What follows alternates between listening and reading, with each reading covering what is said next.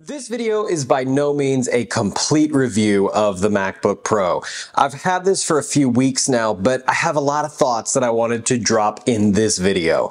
I have absolutely loved owning this over the past few weeks. This is the 14 inch space gray MacBook Pro and it is absolutely fantastic. There's a few things that I really love about owning this particular device one of which is the display itself.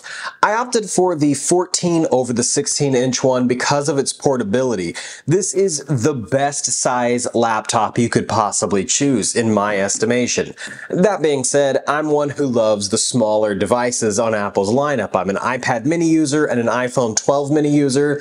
This is a nice big display and a very good one at that. At 120 hertz refresh, it has Apple's ProMotion display and it is buttery smooth. Of course, Apple has brought that to their Pro lineup all the way from the iPhone uh, 14 Pro to the iPad Pro up to the MacBook Pro, but it is a very good refresh rate, a very good display.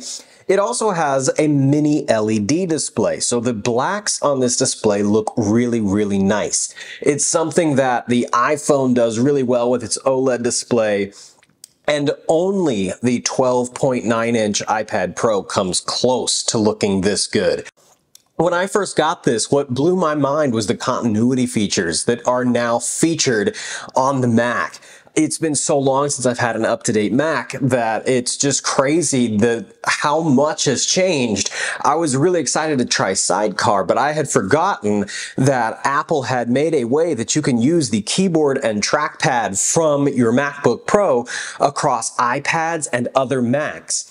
I also found out that if you have a MacBook Pro and you have someone else in the family, like my mom who has a MacBook Air, you can cast what you are doing on your display to the other Macs in the house. So recently we have been shopping for a car. My mom's got to get a new car and we have been casting different things we find to each other's MacBooks. It's super, super cool. You just go into Control Center and just like you would with an Apple TV, you can cast onto each other's displays really convenient. I actually have found that feature to be super useful lately because when we find something that we think might be a good deal, we can share it with each other. Have been using this Mac to try out different things that I have not dreamed about running software such as Photoshop and Lightroom that I have wanted to try for a really long time.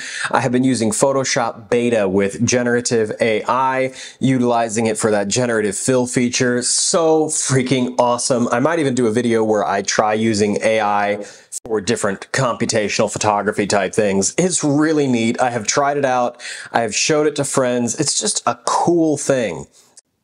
Overall, the performance of this MacBook is another level. And this is just the M2 Pro.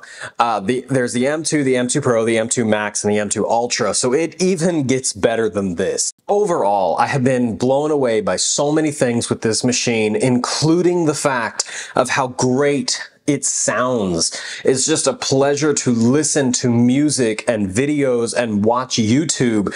Just laying back and using this as a casual consumption device is not something that I anticipated doing. I really figured this would be for work and I would keep my iPad for doing iPad things. And that is true. That is definitely something that has held up as a true statement for me. I definitely use my iPad for things like browsing casually or watching videos, but I also gravitate towards this. This will be sitting around and it's become a great device to grab and go and it's just an everything machine and that's been super amazing uh, in just using it overall. So for this video, like I said, it is by no means a full review, but those are my initial thoughts on the MacBook Pro.